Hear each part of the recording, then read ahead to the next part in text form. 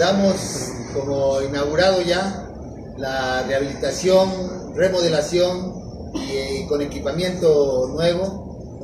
el área de urgencias del hospital Ícono aquí en Jalapa, el F Nachón, eh, que ya, como se puede ver al fondo, está en uso ya, con una inversión total de 60 millones de pesos que hemos hecho en este sexenio aquí en el Hospital Nachón de Jalapa y esta última inversión de casi 20 millones de pesos.